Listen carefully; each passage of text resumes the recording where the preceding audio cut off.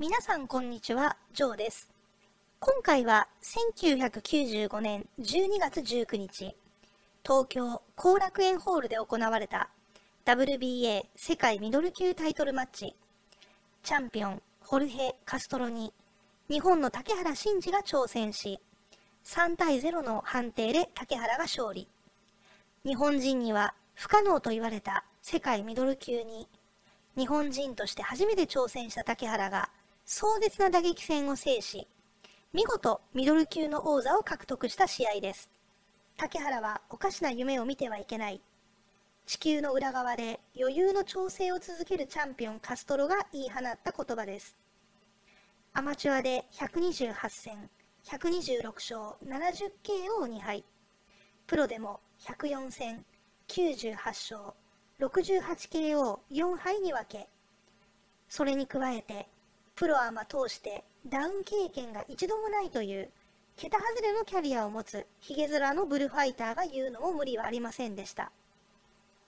誰の目にもそれは実現不可能な夢に見えたのです。チャンピオンカストロ、この試合が5度目の防衛戦。ヒゲ面にずんぐりむっくりの体型。スタイリッシュさとは金剥がれた風貌。ややうつむき加減で左手を掲げる姿からは、静かな闘争心が感じられました。障害成績144戦、130勝 90KO11 敗3分け。しかも、この竹原戦から2年後の1997年に、黄金の中量級の一角、ロベルト・デュランと2連戦をしています。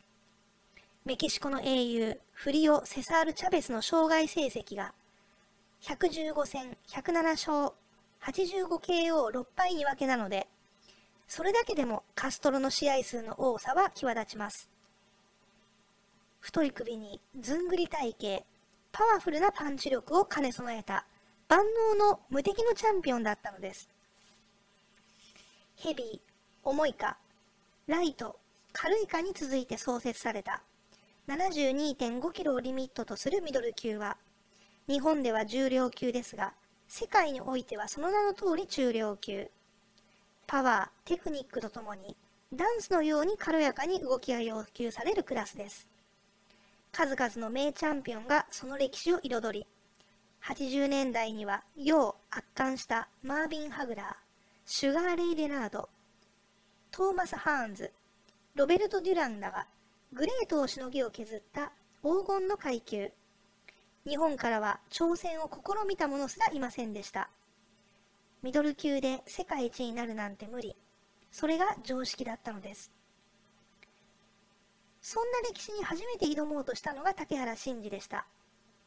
悪さが過ぎて高校進学を諦め、ボクサーを志して16歳で広島から上京。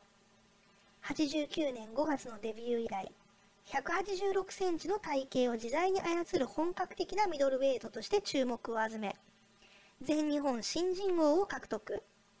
日本王座は4度、東洋太平洋王座は6度の防衛に成功するうちに、戦績23戦全勝 18KO のキャリアを築きました。それでも世界に飛び出せば、日本の一つの星の輝きは心もなく映ったのです。ターゲットであるカストロは、歴戦の疲れを見せ始めていたものの、前に出る力強さと強打、したたかさを武器に、4度の防衛を重ねていました。チャンピオンの原料区を差し引いても、番狂わせは想像しがたく、テレビ局は放映権獲得に二の足を踏みます。試合直前にようやくテレビ東京が放送を決めましたが、なんとか入り込めた枠は深夜の録画放送だったのです。この歴史的な事件をライブで目撃した幸運な人は、後楽園ホールに足を運んだ約2500人のみ。そしてその大多数も敵を怪物と表現して恐れた挑戦者が真っ向勝負に出たことに驚いたのです。本来アウトボクサーではない竹原がチャンピオンの馬力を封じるには一か八かの打ち合いしかない。その唯一の、しかし危険極まりない戦法を竹原は類まれなる努力をもって実行に移したのです。アジアでは手なしの倒しやセコンドが頭に巻かれた日の丸の鉢巻きをほどき、竹原は自分の顔を両手でポンポンと叩いて気合を入れます。そして首を左右に動かし、きっと正面を見据えます。程よい緊張と高ぶり、殺気に満ちた表情。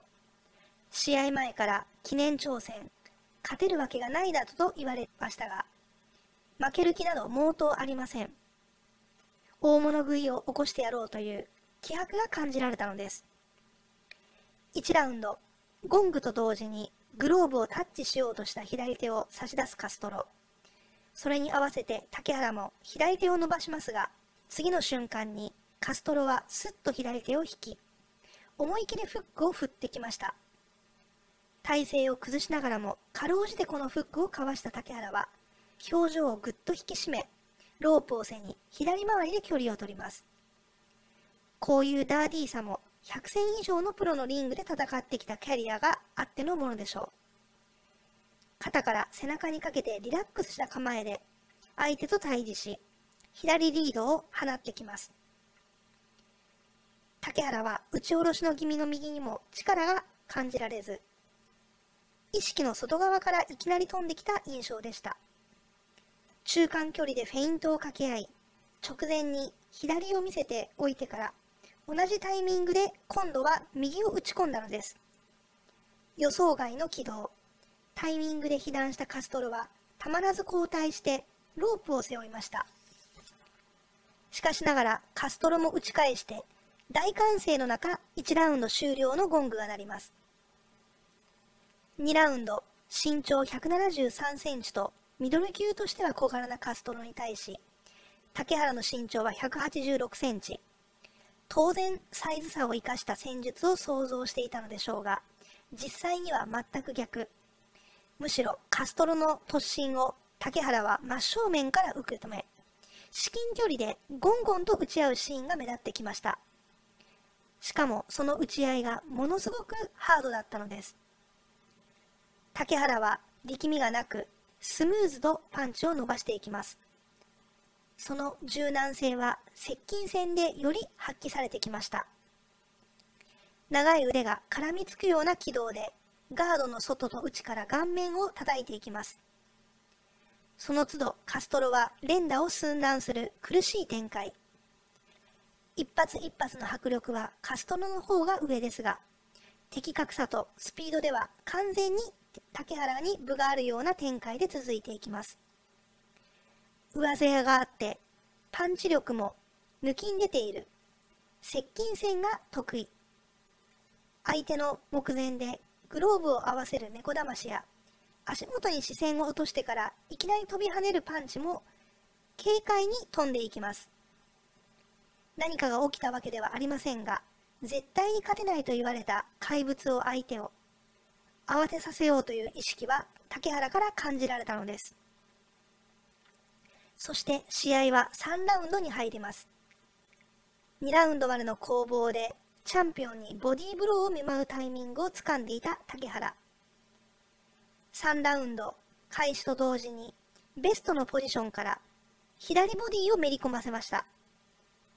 カストロの動きが止まり、耐えようとしましたが耐えきれず、カストロがダウン。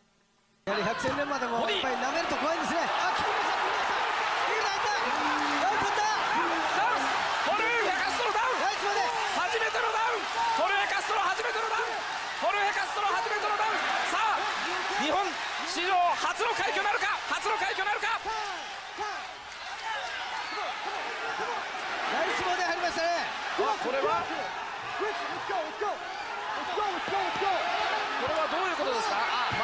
を出しています。さあ試合が再開されました。さあここはチャンスだ。ここはチャンスだ。さあボディからフェント入れたいボディからフェントこれで左のボディ左のボディ。左のボディ左のボディ。左のボディだ。またボディだ。またボディだ。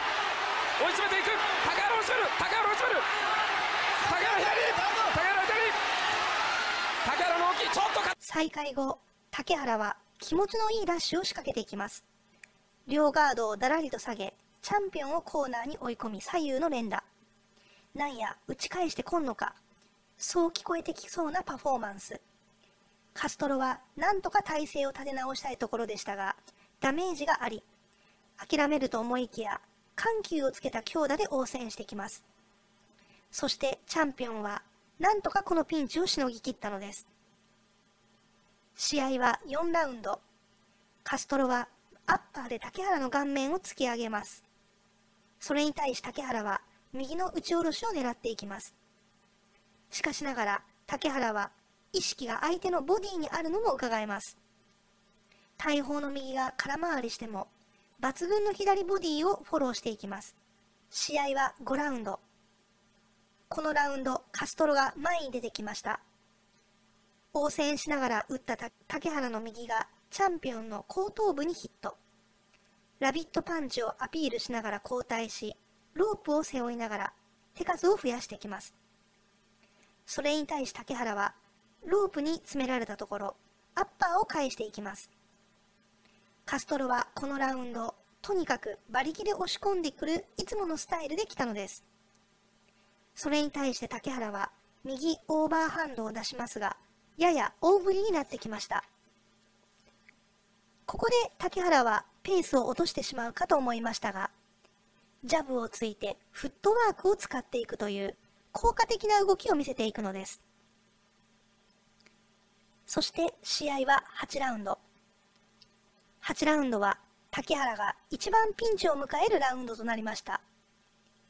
左フックをもらい一瞬動きが止まってしまいます。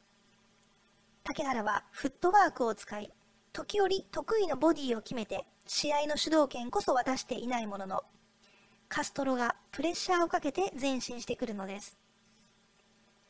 そしてついにチャンピオンカストロの右アッパーをまともにもらってしまった竹原。大きく腰を落としてしまいます。それに対し左ショートフックを立て続けに食ってしまいなんとかゴングに逃げ込むというダメージが色が濃厚になってきました。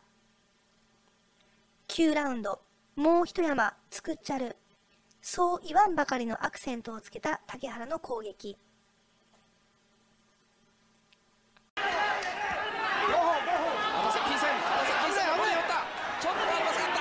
距離はダメあの距離はダメ。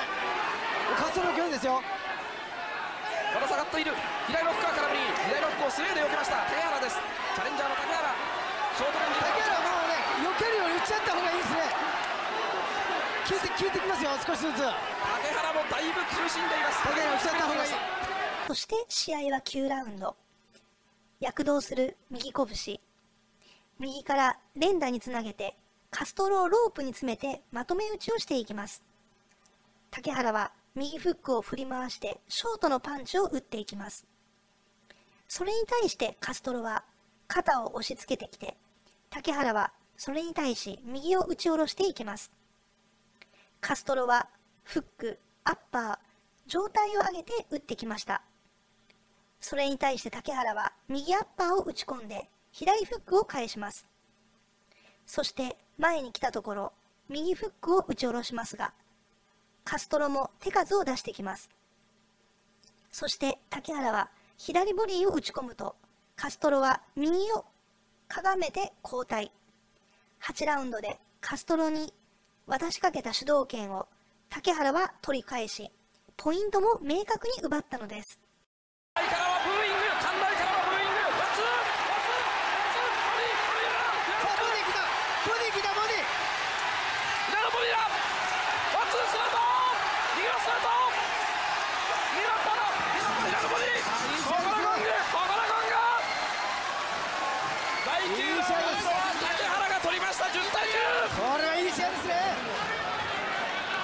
10ラウンドも竹原は前進を続けます。左で距離を測ってからの右ストレートがクリーンヒット。大声援の竹原コールが鳴り響きます。しかしながらチャンピオンカストロもやはり強かった。効いたと見せかけて一瞬動きを止めてから読めないタイミングで強打を振り回してきます。そんな百戦錬磨の怪物に竹原は冷静で部の良い試合運びができてきました。カストロは前に出てきて左フックをダブルで打ち込んできます竹原は右アッパーを返して打ち合いに応じます。カストロは常に前に出てきますが、竹原の右フックをもらって交代。さらに左右ボディを被弾すると明らかに身をかがめています。そして試合は11ラウンド。11ラウンドは両者譲らずの壮絶な打撃戦になりました。竹原はこの終盤でもしっかりコンビネーションの中にボディ打ちを混ぜ込んでいきます。チャンスが来たら一気にまとめてやろうという気迫が溢れ出ています。カストロはこんな試合になるとは思ってもいなかったのでしょう。予想外の大苦戦ながらも KO 負け寸前まで追い詰められたジャクソン戦ほどの窮地にはまだ陥っていません。目が死んでいないのです。相変わらず際どいタイミングでの壮絶な打ち合い。しかし、ここでも竹原の右の精度が勝ります。試合はついに12ラウンドに入りました。チャンピオンがプレッシャーを強めて出てきます。ポイントは厳しいという自覚があるのでしょう。ここで虎の子の世界タイトルを落としたとなるものかという最後の意地を見せてきます。竹原も次はありません。今日取ってやるんだという執念。意地と執念のぶつかり合いの中、最後はコーナーでの打ち合いになりました。試